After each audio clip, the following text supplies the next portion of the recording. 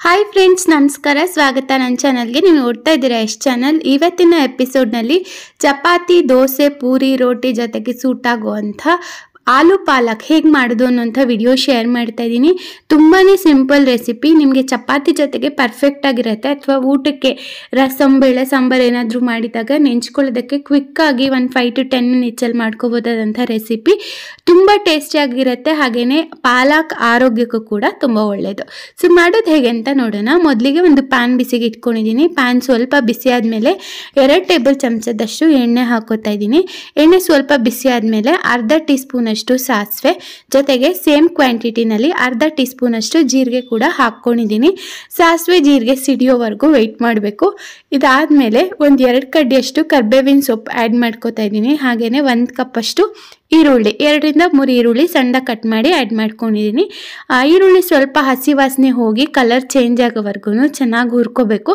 ಆಮೇಲೆ ನಾವು ಬೇರೆ ಇಂಗ್ರೀಡಿಯೆಂಟ್ಸ್ನ ಆ್ಯಡ್ ಮಾಡ್ಕೋಬೋದು. ಈರುಳ್ಳಿ ಸ್ವಲ್ಪ ಫ್ರೈ ಆಗೋವರೆಗೂ ನೋಡ್ಕೊಳ್ಳಿ. ಇವಾಗ ನೋಡಿ ಈರುಳ್ಳಿ ಆಲ್ಮೋಸ್ಟ್ ಒಂದು ಸ್ವಲ್ಪ ಹಸಿ ವಾಸನೆ ಎಲ್ಲ ಹೋಗಿ ಚೆನ್ನಾಗಿ ಕಲರ್ ಚೇಂಜ್ ಆಗ್ತಾ ಇದೆ, ನೀವು ಗಮನಿಸ್ಬೋದು. ಸ್ವಲ್ಪ ಬಿಡಿಬಿಡಿಯಾಗಿ ಕಲರ್ ಬೇರೆ ಥರನೇ ಚೇಂಜ್ ಆಗುತ್ತೆ. ಸೊ ಇವಾಗ ನೋಡಿ ಈರುಳ್ಳಿ ಎಲ್ಲ ನೀಟಾಗಿ ಫ್ರೈ ಆಗಿದೆ. ತೀರಾ ಜಾಸ್ತಿ ಬ್ಲ್ಯಾಕ್ ಆಗೋ ಅವಶ್ಯಕತೆ ಇಲ್ಲ. ಸ್ವಲ್ಪ ಫ್ರೈ ಆದ ತಕ್ಷಣವೇ ಇದಕ್ಕೆ ಆಲೂಗಡ್ಡೆ ಹಾಕೋಬೇಕು. ಎರಡು ಆಲೂಗಡ್ಡೆ ಮೀಡಿಯಮ್ ಸೈಜ್ ಈರು ಆಲೂಗಡ್ಡೆನ ಸಿಪ್ಪೆ ತೆಗೆದು ಈ ಥರ ಚಿಕ್ಕ ಚಿಕ್ಕದಾಗಿ ಕಟ್ ಮಾಡಿ ಇಟ್ಕೊಂಡಿದ್ದೀನಿ. ಇದರಿಂದ, ಈ ಥರ ಕಟ್ ಮಾಡ್ಕೊಳ್ಳೋದ್ರಿಂದ ಬೇಗ ಕುಕ್ ಆಗುತ್ತೆ. ಜಾಸ್ತಿ ಟೈಮ್ ತಗೊಳ್ಳಲ್ಲ ಅಂತ ಹೇಳಿ ಈ ಥರ ಕಟ್ ಮಾಡ್ಕೊಂಡಿದ್ದೀನಿ. ಇನ್ನೂ ದಪ್ಪ ದಪ್ಪದಾಗಿ ಬೇಕಾದರೂ ಹಾಕೋಬೋದು. ಆಲೂಗಡ್ಡೆ ಬೇಗ ಸಾಫ್ಟ್ ಆಗಲಿ ಅಂತ ಹೇಳಿ ಒಂದು ಸ್ವಲ್ಪ ಉಪ್ಪು ಕೂಡ ಸೇರಿಸ್ಕೊಂಡಿದ್ದೀನಿ.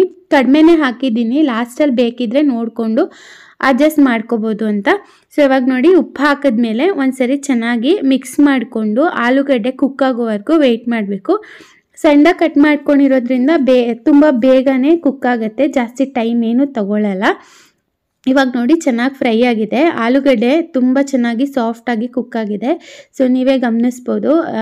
ಈ ಥರ ಎಲ್ಲ ಟೆಕ್ಸ್ಚರ್ ಬಂತು ಅಂದರೆ ಆಲೂಗಡ್ಡೆ ಫ್ರೈ ಆಗಿದೆ ಅಂತ.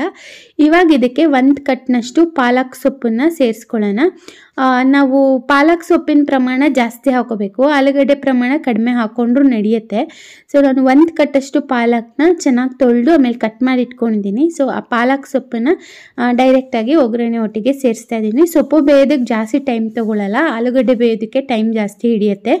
ಸೊ ಅದಕ್ಕೆ ಸೊ ಪ್ಲಾಸ್ಟಲ್ಲಿ ಲಾಸ್ಟಲ್ಲಿ ಹಾಕ್ಕೊಂಡ್ರು ಸ್ವಲ್ಪ ಹೊತ್ತಿಗೆ ಅದು ಸ, ಕಡಿಮೆ ಆಗೋಗುತ್ತೆ. ಹುರಿತಾ ಹುರಿತಾ. ಇವಾಗ ನೋಡಿ ನಾನು ಸೊಪ್ಪನ್ನ ಹಾಕೊಂಡು ಮಿಕ್ಸ್ ಮಾಡ್ಕೊಂಡಿದ್ದೀನಿ ಮಿಕ್ಸ್ ಮಾಡ್ತಾ ಇದ್ದೀನಿ. ಬೇಗ ಬೆಂದೋಗುತ್ತೆ, ಹಾಗೆ ಸ್ವಲ್ಪ ನೀರಿನ ಅಂಶ ಕೂಡ ಬಿಡುತ್ತೆ. ಅದು ಬಿಡುವಂತಹ ನೀರಿನ ಅಂಶ ಕಂಪ್ಲೀಟಾಗಿ ಅಬ್ಸರ್ಬ್ ಆಗೋವರೆಗೂ ಹೈ ಫ್ಲೇಮಲ್ಲಿ ಇಟ್ಕೊಂಡೇ ಕುಕ್ ಮಾಡ್ಕೊಳ್ಳಿ. ಲೋ ಫ್ಲೇಮಲ್ಲಿ ಇಟ್ಟರೆ ಅದು ಕಂಪ್ಲೀಟಾಗಿ ನೀರು ಬಿಡ್ತಾ ಹೋಗುತ್ತೆ. ನೀರು ಬೇಗ ಇಂಗೋದಿಲ್ಲ. ಸೊ ಆದಷ್ಟು ಹೈ ಫ್ಲೇಮಲ್ಲಿ ಇಟ್ಕೊಂಡೆ ನೀವು ಸೊಪ್ಪನ್ನು ಬಾಡಿಸ್ಕೋಬೇಕಾಗತ್ತೆ. ಸೊಪ್ಪಲ್ಲಿ, ಅದರಲ್ಲೂ ಪಾಲಕ್ ಸೊಪ್ಪಲ್ಲಿ ಜಾಸ್ತಿ ಮಣ್ಣು, ಕಲ್ಲು ಎಲ್ಲ ಇರುತ್ತೆ. ಸ್ವಲ್ಪ ಹೊತ್ತು ನೀರಲ್ಲಿ ನೆನೆಸಿ ಆಮೇಲೆ ನಾವು ವಾಶ್ ಮಾಡೋದು ಒಳ್ಳೆಯದು ಇವಾಗ ನೋಡಿ ಆಲ್ಮೋಸ್ಟ್ ಸೊಪ್ಪು, ಆಲೂಗಡ್ಡೆ ಎಲ್ಲ ಬೆಂದಿದೆ. ಇವಾಗ ಇದಕ್ಕೆ ಸ್ಪೈಸ್ ಪೌಡರ್ಸ್ ಆ್ಯಡ್ ಮಾಡ್ಕೋಬೇಕು. ಖಾರದ ಪುಡಿಗಳು. ಒನ್ ಟೀ ಸ್ಪೂನ್ ಅಷ್ಟು ಅಚ್ಚ ಖಾರದ ಪುಡಿ ಹಾಕೋತಾ ಇದ್ದೀನಿ. ಖಾರಕ್ಕೆ ಎಷ್ಟು ಬೇಕೋ ಅಷ್ಟು ನೋಡ್ಕೊಂಡು ಹಾಕ್ಕೊಳ್ಳಿ ಅರ್ಧ ಟೀ ಸ್ಪೂನಷ್ಟು ಅರಿಶಿನ ಪುಡಿ ಸೇರಿಸ್ಕೊಂಡಿದ್ದೀನಿ.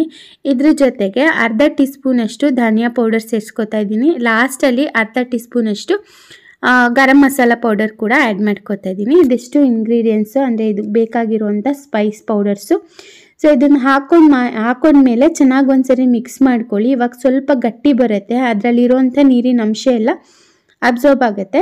ಇವಾಗ ನೋಡಿ ಎಲ್ಲ ಚೆನ್ನಾಗಿ ಹುರ್ಕೊಂಡಿದ್ದಾದಮೇಲೆ ಚೆನ್ನಾಗಿ ಮಿಕ್ಸ್ ಮಾಡ್ಕೋಬೇಕು. ಮಿಕ್ಸ್ ಮಾಡಿಕೊಂಡು ಸ್ವಲ್ಪ ಹೊತ್ತು ನೀವು ಒಂದು ಸಿಮ್ಮಲ್ಲಿಟ್ಟು ಒಂದು ಟೂ ಮಿನಿಟ್ಸ್ವರೆಗೂ ಕುಕ್ ಮಾಡ್ಕೋಬೇಕು. ಈ ಟೆಕ್ಸ್ಚರಲ್ಲಿ ಇದ್ದರೆ ಚಪಾತಿ ಪೂರಿಗೆ ತುಂಬ ಚೆನ್ನಾಗಿರುತ್ತೆ. ಇನ್ನೊಂದು ಸ್ವಲ್ಪ ಡ್ರೈ ಬೇಕು ಅಂದರೆ ಡ್ರೈ ಥರನೂ ಮಾಡ್ಕೋಬೋದು. ಪಲ್ಯ ಥರ ಏನಾದರೂ ಯೂಸ್ ಮಾಡ್ತೀವಿ ಅಂದರೆ ಡ್ರೈ ಥರನೂ ಮಾಡ್ಕೋಬೋದು. ಸೊ ನಾನು ಈ ಟೆಕ್ಸ್ಚರಲ್ಲೇ ಸಾಕು ಅಂತ ಸಾಲ್ಟ್ ಚೆಕ್ ಮಾಡಿದೆ ಸಾಲ್ಟ್ ಸ್ವಲ್ಪ ಕಡಿಮೆ ಅನಿಸ್ತು. ಅದಕ್ಕೆ ಉಪ್ಪನ್ನ ಲಾಸ್ಟಲ್ಲಿ ಸೇರಿಸ್ಕೊಂಡಿದ್ದೀನಿ ಮೊದಲೇ ಉಪ್ಪು ಹಾಕಿದ್ದೆ. ಸೊ ನೋಡಿಕೊಂಡು ಲಾಸ್ಟಲ್ಲಿ ಆ್ಯಡ್ ಮಾಡ್ಕೊಂಡಿದ್ದೀನಿ ಇದನ್ನು ಚೆನ್ನಾಗಿ ಮಿಕ್ಸ್ ಮಾಡಿಕೊಂಡ್ರೆ ಬಿಸಿ ಬಿಸಿಯಾದ ಆಲೂ ಪಾಲಕ್ ರೆಸಿಪಿ ರೆಡಿ ಆಗುತ್ತೆ. ಸೊ ಇದನ್ನು ನಾನು ಬಿಸಿ ಬಿಸಿಯಾಗಿ ಸರ್ವ್ ಮಾಡ್ತಾ ಇದ್ದೀನಿ ನೋಡ್ಬೋದು. ತಿನ್ನೋದಕ್ಕಂತೂ ತುಂಬ ಟೇಸ್ಟಿಯಾಗಿರುತ್ತೆ ಸಿಂಪಲಾಗಿ ಮಾಡಿರೋದು ಅಂತ ಅನಿಸೋದೇ ಇಲ್ಲ. ಚಪಾತಿ ಜೊತೆಗಂತೂ ಪರ್ಫೆಕ್ಟ್ ಆಗಿರುತ್ತೆ. ಡಿಫ್ರೆಂಟ್ ಸೈಡ್ ಡಿಶ್ ರೆಸಿಪಿ ಅಂತಲೇ ಹೇಳ್ಬೋದು. ಟ್ರೈ ಮಾಡಿ ನೋಡಿ. ಇವತ್ತಿನ ಈ ರೆಸಿಪಿ ನಿಮ್ಗೆ ಇಷ್ಟ ಆಗಿದೆ ಅಂತ ಅಂದ್ಕೊಳ್ತೀನಿ ಇಷ್ಟ ಆಗಿದ್ರೆ ಲೈಕ್ ಮಾಡಿ ಶೇರ್ ಮಾಡಿ. ಹೊಸದಾಗಿ ನೋಡ್ತಾ ಇರೋರು ಚಾನಲ್ ಸಬ್ಸ್ಕ್ರೈಬ್ ಮಾಡ್ಕೊಂಡು ನೋಡಿ. ನಿಮ್ಮ ಅನಿಸಿಕೆ, ಅಭಿಪ್ರಾಯಗಳು ವಿಡಿಯೋ ಬಗ್ಗೆ ಏನೇ ಇದ್ದರೂ ಕಮೆಂಟ್ ಸೆಕ್ಷನಲ್ಲಿ ಬರ್ದು ತಿಳಿಸ್ಬೋದು. ಆ್ಯಂಡ್ ಥ್ಯಾಂಕ್ಸ್ ಫಾರ್ ವಾಚಿಂಗ್ ನಮಸ್ಕಾರ.